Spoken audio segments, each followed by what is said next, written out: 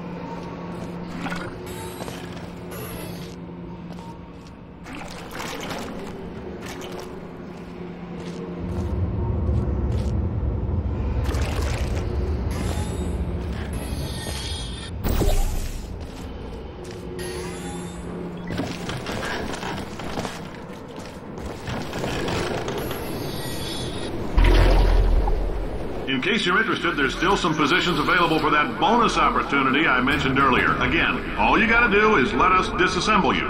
We're not banging rocks together here. We know how to put a man back together. So, that's a complete reassembly. New vitals, spit shine on the old ones, plus we're scooping out tumors. Frankly, you ought to be paying us.